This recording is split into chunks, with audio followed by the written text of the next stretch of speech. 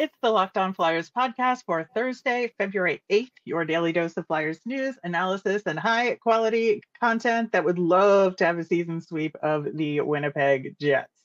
Yeah, it's going to be tough. Your Locked On Flyers, your daily podcast on the Philadelphia Flyers. Part of the Locked On Podcast Network. Your team every day.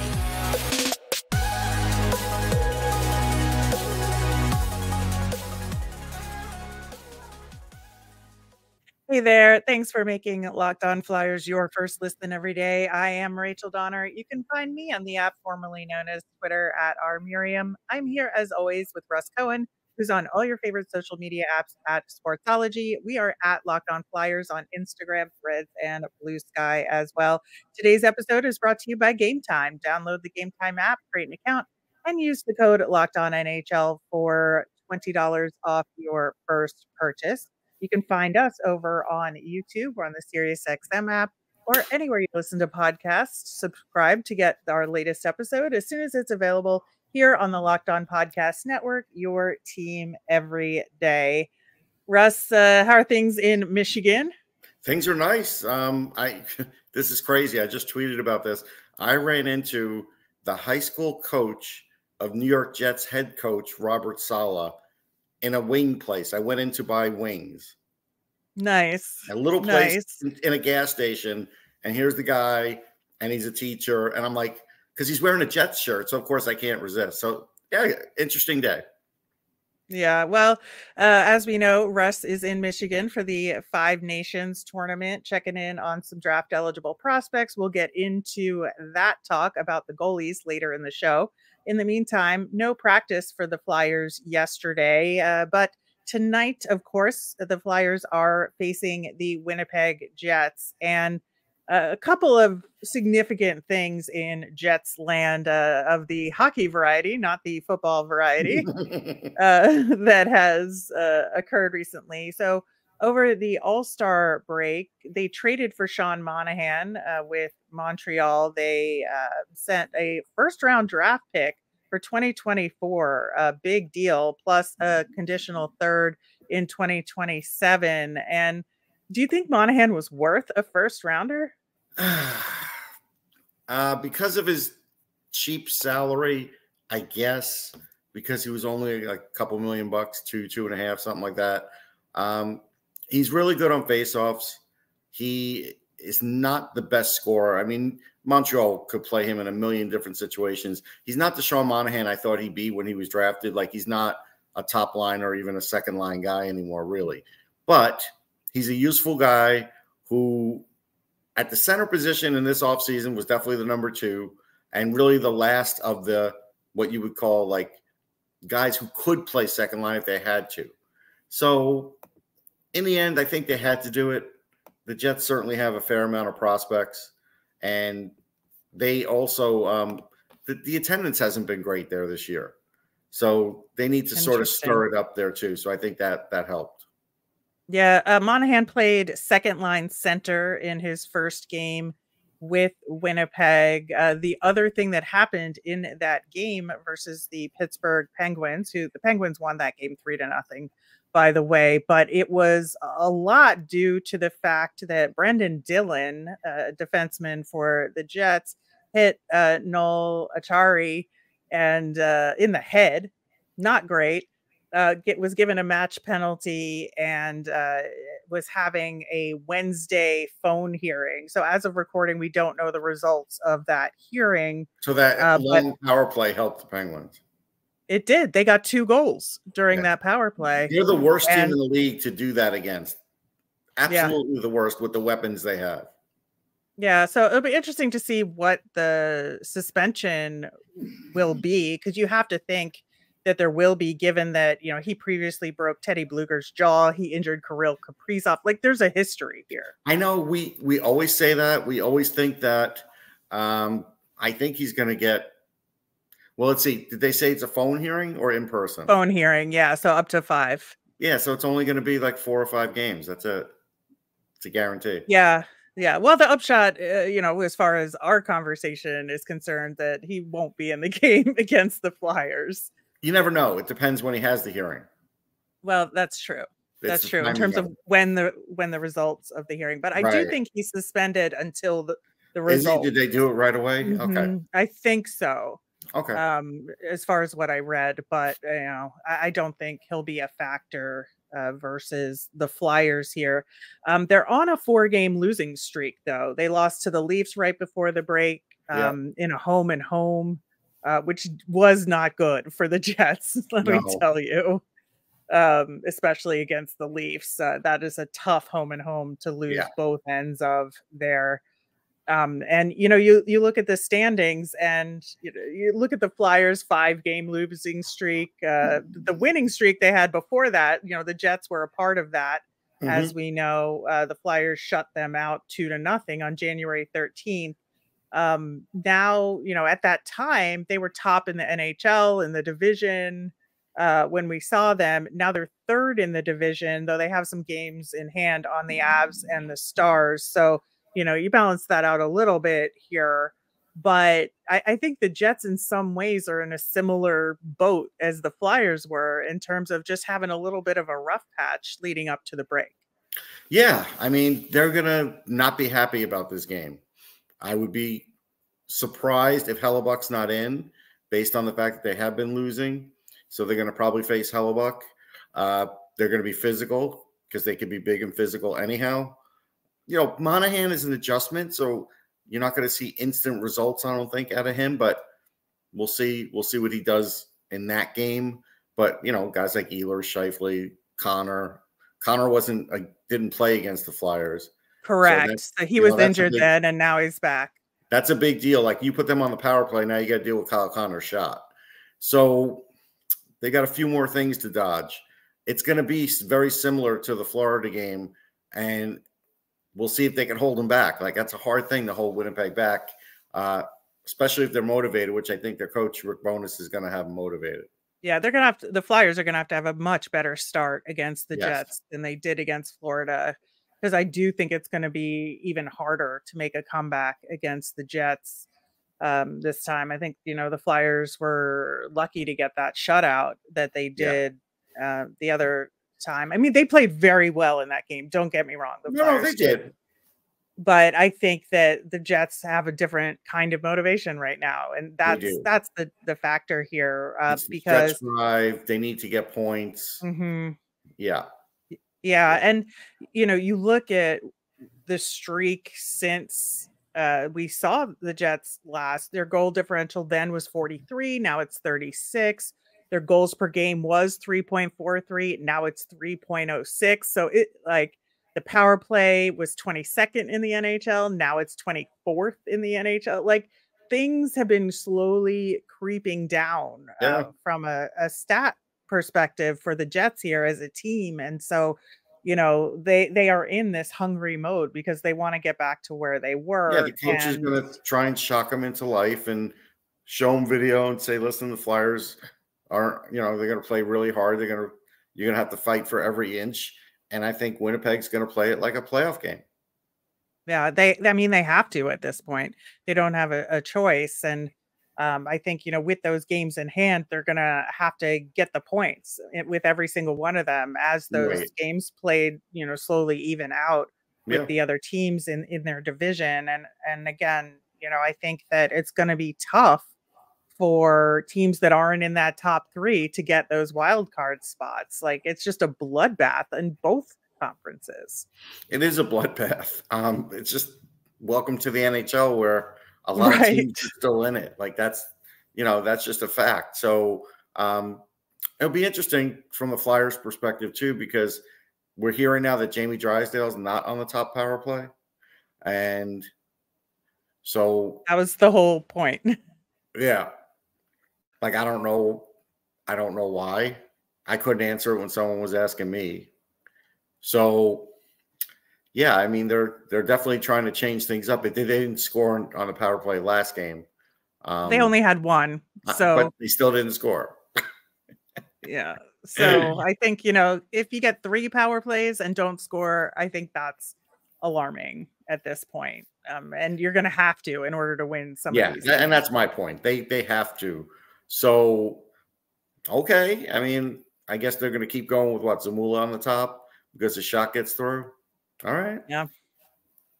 Fine. Well, hopefully we get some power play opportunities for the Flyers right. in this game. I think that's uh, very important. Um, it is. That's a big you know, thing. Flyers can can draw penalties uh, against this team because I do think that's where the opportunities are, and they still are. Um, you know, that's what we talked about last time we played the Jets, and their their penalty kill is worse than it was before. Um, you know, with the Flyers having the number two penalty kill in the league and the Jets having the 27th power uh, penalty kill in the league. I mean, that's where your opportunities are going to be. So the that's Flyers definitely the opportunity. That's that's a big one. And I think the magic of the Flyers like scoring first thing is pretty much over. But on the flip side, the other part where they weren't going to ever win if they fell behind is also over. Yep. Absolutely. So the opportunities are there. They just have to take advantage of them. Uh, in the meantime, uh, the kids who are draft eligible have opportunities to show their stuff at the Four Nations tournament in Michigan, where Russ is right now. We're going to talk about the goalies on today's show. Very excited about that. We're going to do that coming up next. We're driven by the search for better, but when it comes to hiring, the best way to search for a candidate isn't to search at all. Don't search, match with Indeed. Use Indeed for scheduling, screening, and messaging so you can connect with candidates faster. And Indeed doesn't just help you hire faster. 93% of employers agree Indeed delivers the highest quality matches compared to other job sites, leveraging over 140 million qualifications and preferences every day. Indeed's matching engine is constantly learning from your preferences, so the more you use Indeed, the better it gets. Listeners of Locked On Flyers will get a $75 sponsored job credit to get your jobs more visibility at indeed.com slash locked on. Just go to indeed.com slash locked on right now and support our show by saying you heard about Indeed on this podcast. That's indeed.com slash locked on. Terms and conditions apply. Need to hire? You need Indeed. Do you know that even if you have a 401k for retirement, you can still have an IRA? Robinhood has the only IRA that gives you a 3% boost on every dollar you contribute when you subscribe to Robinhood Gold. But get this now through April 30th, Robinhood is even boosting every single dollar you transfer in from other retirement accounts with a 3% match. That's right, no cap on the 3% match. Robinhood Gold gets you the most for your retirement thanks to their IRA with a 3% match. The offer is good through April 30th. So get started at robinhood.com slash boost. Subscription fees apply. And now for some legal info. Claim as of Q1 2024, validated by Radius Global Market Research. On tomorrow's show, of course, we will recap this game against the Winnipeg Jets, and uh, we will be looking ahead to the weekend and next week's action as well. Uh, Russ, the goalies in this upcoming draft, I think there's been less talk overall about mm-hmm. the goalies uh, in, in, this upcoming draft. And so you're getting a firsthand view of some of them that are available. And, you know, we talked a little bit yesterday about Team Finland, and uh, their goalie might be turning some heads. Yeah, he's a he's a big guy. He's six four. Um, I like his personality. I'd like if his English were a little better because it was hard to interview him. Um, but he, um, but he's a genuine kid. He definitely tries hard. He, in the game that he lost, he was really good for two periods and probably for two and a half. And then the team in front of them kind of let him down. Penalty kill let him down. They all of a sudden they score six on five. The game's tied. All of a sudden you lose in overtime it's it's it's a tough thing for a kid like that, but he's very competitive. Uh, I like the way he makes kick saves. He makes them right to the uh, defenseman. He doesn't leave too many rebounds. He covers up quickly. Uh, I felt like his he's pretty quick up and down, and pretty sure glove hand. But you know, you could always shoot high on guys. But at six four, it's a little hard with him. But the one thing right. I was going to say also, he's got a large torso, like a long torso. So even when he is down, um, there's still quite a bit of height to shoot over. Like he's he can be intimidating that way. So you you know guys will crash the net on him. They're gonna that's the way they're gonna try and score on him. So Kim Saarinen is currently ranked first in the European goalies in uh, from Central Scouting. Do you think that's earned? I mean, it's hard for me to say because I haven't seen enough of his play away from this. Uh, you know, just the fact that he got to even be on the bench for you know in for HPK and Liiga is a big deal. You know, mm-hmm. I certainly look at the numbers and say, yeah, it seems so, but um, I'm going to be learning about him more and more as the season goes on, like everybody else. So I'm, you know, I'm not a goalie expert, so I'm just sort of scratching the surface now with with guys like him. You know, he is in the HPK organization, like you mentioned. Um, he's mostly been playing on their U20 squad. Um, he started yeah. in the U18 uh, level, but has been sort of moved up a little bit, even though he doesn't turn 18 until July. So right. uh, that is a good sign, I think. And you know, he's got a 918 save percentage in 22 games. I think that's pretty solid uh, in that league. Yeah, it's his first time in the U.S. He thinks the U.S. is cool. Um, so it's one of those things where you know he's not letting you know the newness of all this affect his hockey play. Uh, I think he took it in stride the way that um, he handled this first loss in the tournament, and I appreciate the fact that he seems like a guy that could just turn the page like a lot of good goalies. Yeah, absolutely. Uh, Jack Parsons is mm-hmm. a goaltender for Team USA, also six four. He but he's already 18 years old.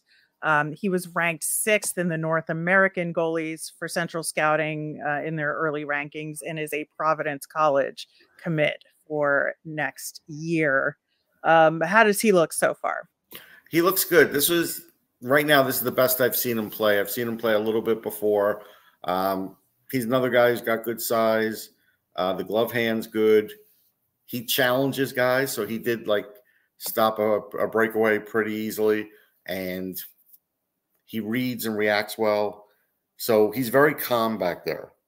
Now, again, the team in front of him is a really good team, but still, you could be a shaky goaltender behind a really good team too. And he's not. He's very decisive. His clears are good. Uh, I feel like he's got good vision. So I think he's just a little bit behind, uh, you know, some of those other goalies that we've talked about. But I feel like, you know, he feels like a rounder, maybe late third, something like mm-hmm. that, where, you know, Saarinen maybe gets in the second round, maybe. So yeah depending on the rest of how the rest of his year goes. But right now, this was a good showing. I mean, again, um, the critics are going to tell you, well, this was against Switzerland, Russ, and I'm like, okay, sure, but if he didn't do well, then you know you'll rip him even more. So, you know, he did what he had to do. Yeah, I think you know it's really tough uh, when there's a lot of pressure on you, even against a team that you're ostensibly supposed to beat. You still have to perform at an elite level in order to keep your spot on that team. And right, um, I think you know, with this year being sort of his last year in the development program before he heads off to college, like he's got to soak everything up and really yeah. perform at his best to increase his draft pick chances and and get to a good organization that there's room for him in. Like all those moving pieces and parts are are really difficult to navigate. It is. I mean, it's a good thing though that that he is going to Providence. So there'll be teams out there that that night like Nate Leaman, the coach, very well known, very good, always good program there. So that helps too. So that that'll help get him drafted too. Yeah, uh, Axel Nyman from Team Sweden is six five, even taller than the other two. Uh, we'll talk about that trend a little bit later in the show, but um, you know, he is uh, playing in the Swedish U20 league right now and um, is part of the tandem for the Sweden team. The other goalie on the on that team is a 2025 draft eligible kid, so we won't focus on him as much. Although his name is Love, which is really his cute. name is Love, man. I mean, I'm I'm in, that piqued my interest. I will say that. Yeah. But Nyman is ranked 12th of the European goalies uh, with Central Scouting. So you know, not as high as our Finnish friend we just talked about. No, and 12th isn't a guarantee you get drafted either. Um, yeah, but he's bigger overall in height and weight. Yeah, so I would say of the three, he's not as good as the other two. Um, there is runway with him though, because he is younger. Uh, you don't really notice that he's. I wouldn't even want to call him underweight. He's a little underweight. You don't really notice that. I, I feel like I felt like his game was not um, up to snuff at the beginning of the game.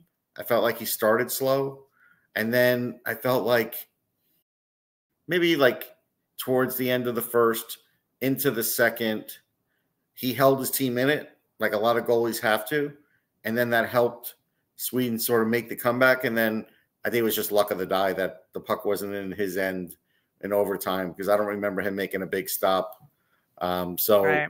I think that's you know that's a toss up sometimes, but he definitely kept his team in it. Uh, he's athletic. I do think he leaves a little bit of rebounds. Guys were definitely going to the net and then shooting far side. So, like if they were going down the left side, they would do that one hand move and try and get it around them, or vice versa. And at least one or two of those went in. So that was the book on him. So mm-hmm. he's got to he's got to clean that up. He's got to clean up his rebounds. Uh, there's definitely something there. Uh, but this tournament could go a long way in getting him drafted. Like they won a game if they could somehow, you know, win the tournament, come in second. He's the best goalie or one of the best goalies. Uh, like I said, all the all the best goalie guys are here. You know, I've seen him already, so that's a uh, a big deal for him. Yeah, I, I think so. Well, I think you know there there's time for Axel to kind of change his fortunes a little bit, and maybe he yep. will get drafted. And this tournament is a big part of it. Um, all of this, you know, leads to some interesting questions about NHL goaltending and the future of it related to tournaments like this in this upcoming draft. We are going to talk about that coming up next.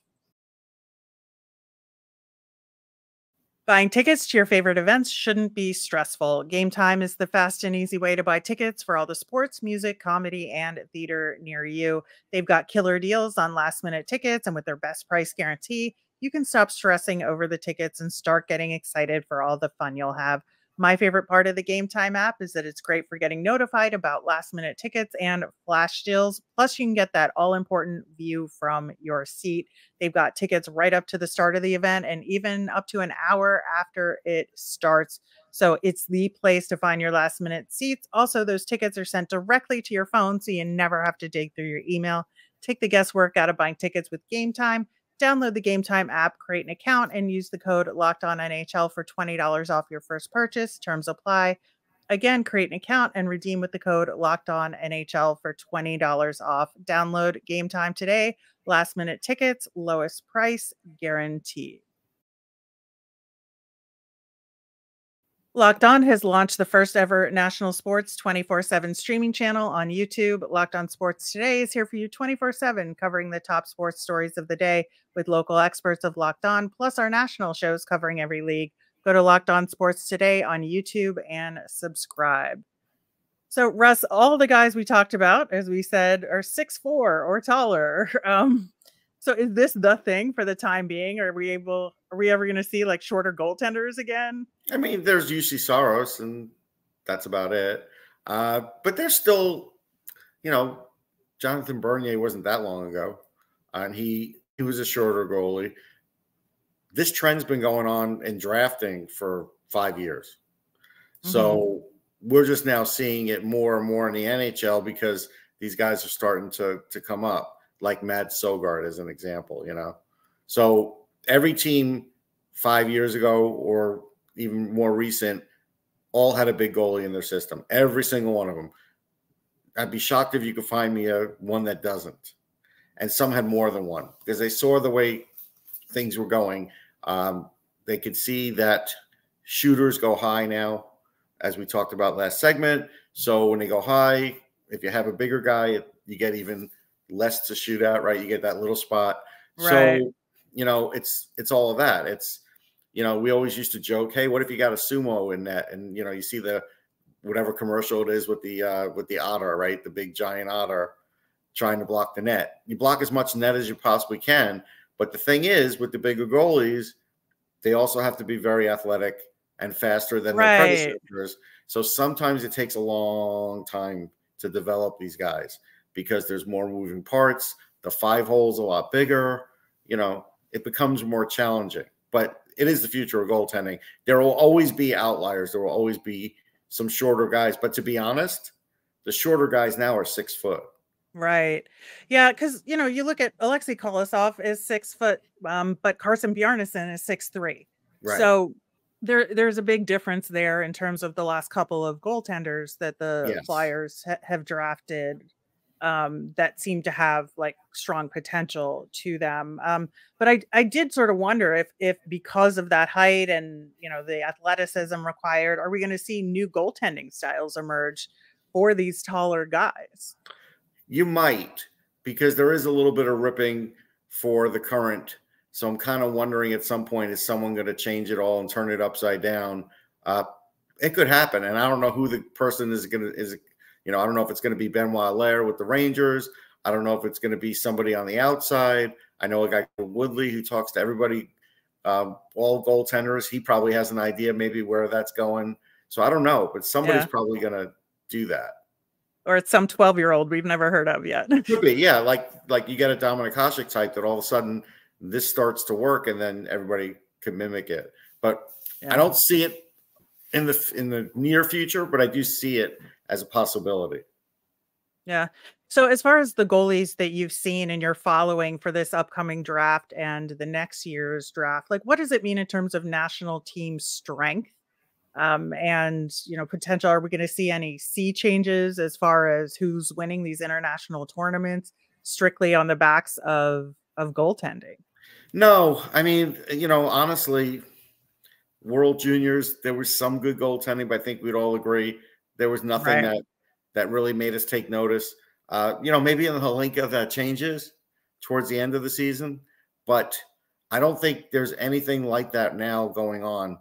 Uh, I think, I think the reason the teams are really digging in here is because a, if you can find a goal, then you don't have to pay them um, five, six million bucks for at least you know four, five, six years, whatever, um, Mhm. depending on how you structure the contract and if they go to college and all that. I'm not getting into that, but that's something where teams are now, you know, they're they're digging deep. And honestly, and I think we learned this the last couple of drafts, where they're ranked with central scouting or someone like me or any other service, teams don't ignore it, but they almost ignore it Right. because Bjarnason wasn't anywhere um, ranked. I don't think he was ranked first or second. Maybe he was like fourth or fifth, something like that with with Central Yeah. Scouting last year, and they took him in the second round anyhow, right?